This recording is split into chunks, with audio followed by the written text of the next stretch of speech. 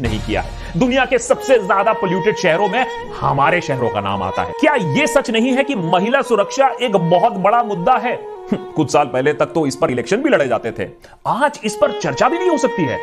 क्या यहाँ gangrape victim को रात के दो बजे प्रशासन ने जला नहीं दिया था?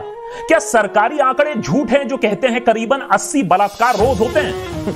जो नहीं दर्ज होते हैं, वो अलग है। क्या यह भी झूठ है कि हमें हंसना तो बहुत पसंद है, लेकिन अगर अपने पर कोई हंस दे तो हम लाल पीले हो जाते हैं? क्या यह बोलना गलत है कि हम भूल चुके हैं कि हम कहते तो चौड़ से हैं, सियाचीन में जवान? लेकिन जब वो चाइना के इंक्रोचमेंट और कब्जे के बारे में लिखते हैं आर्टिकल तब हम उन्हें कर जाते हैं। जब वो अपना पेंशन मांगते अपना हक मांगते हैं, तब हम उन्हें भूल जाते हैं। क्या ये कहना पाप है कि हमारे नेताओं के ख्यालात बहुत पुराने हैं और प्रोग्रेसिव सोच, नई सोच का गला घोटा जाता है?